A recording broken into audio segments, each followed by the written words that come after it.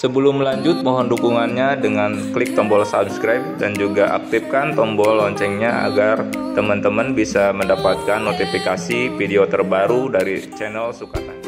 Assalamualaikum warahmatullahi wabarakatuh. Selamat sore sahabat Sukatani. Senang sekali hari ini saya bisa berjumpa kembali dengan teman-teman pecinta dunia pertanian. Eh, Alhamdulillah pada sore ini saya berada di kebun timun. Ini timun saya umur 29 sampai 31 hari. Ya sekitar 30 hari ya dari proses penyemaian atau e, tanam biji. Jadi saya tidak melakukan penanaman secara disemai terlebih dahulu tapi langsung proses tanam biji dengan proses ditugal nah teman-teman sahabat sukatani hari ini rencananya saya ingin melakukan pruning uh, atau pemangkasan daun pada bagian bawah. Jadi itu sebagian sudah saya lakukan proses pruning atau pemangkasan karena terlalu rimbunnya tanaman timun ini. Nah tujuan dari proses pemangkasan ini adalah yang pertama adalah untuk menghentikan proses penyebaran penyakit seperti ini seperti hawar daun seperti ini. Karena biasanya di umur 28 hari itu e, banyak daun yang sudah mulai tua dan menurut anggapan saya bahwasanya daun yang sudah mulai menguning seperti ini e, peran dalam proses pertumbuhan itu kurang maksimal seperti itu. Jadi kita pangkas saja daripada tidak ada fungsinya seperti itu. Yang kedua adalah untuk mengurangi kerimbunan daun yang biasanya karena terlalu rimbun itu proses fotosintesis juga akan terganggu karena sinar matahari juga kurang masuk ke dalam e, ruangan ataupun batang utama ini. Jadi nanti takutnya karena terlalu rimbun batang utama ini bisa terserang jamur seperti itu. Kemudian yang selanjutnya adalah keuntungan dari kita melakukan pruning ini adalah untuk memaksimalkan eh, penyerapan nutrisi atau penyuplaian nutrisi lewat batang utama sehingga akan mempercepat proses pembesaran buah. Nah, seperti itu kira-kira teman-teman. Untuk proses pruningnya teman-teman bisa sediakan gunting seperti ini ya terserah mau gunting mau cutter ataupun misalkan misalkan teman-teman bisa beli yang lebih bagus itu ada cutter yang biasa buat pemotong ranting ya. Nah untuk proses pruningnya kita tinggal potong saja. Nah seperti ini. Ini ya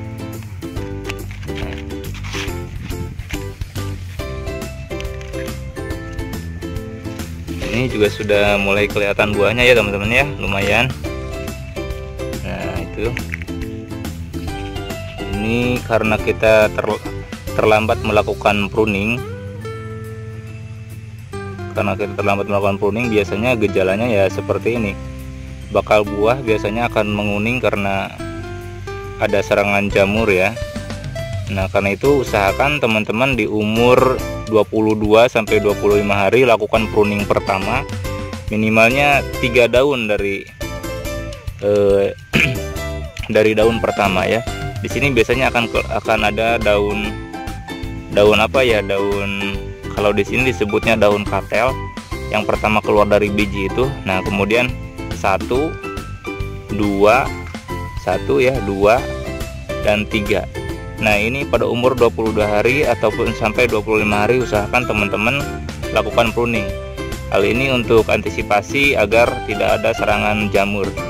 Akan tetapi karena eh, saya juga terlalu sibuk mungkin ya Jadi akhirnya saya lupa untuk melakukan pruning dan terlambat seperti itu. Dan akhirnya seperti ini.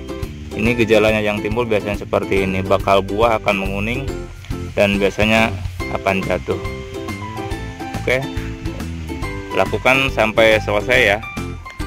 Kita lakukan sampai selesai semuanya agar nanti proses pertumbuhan buah juga maksimal. Ini udah mulai, pada mulai keluar ya teman-teman ya di usia 30 hari ini. Buahnya sudah mulai kelihatan. Nah, ini juga. Nah, ya mudah-mudahan nanti hasilnya maksimal ya teman-teman ya. Bagi teman-teman yang baru hadir di channel ini mohon dukungannya untuk uh, subscribe dan like jika teman-teman suka dengan video ini. Jangan segan untuk berkomentar ataupun menanyakan segala hal yang teman-teman anggap kurang mengerti dalam proses budidaya timun ataupun e, padi. Silahkan teman-teman berkomentar di kolom komentar oke kita lanjut teman-teman.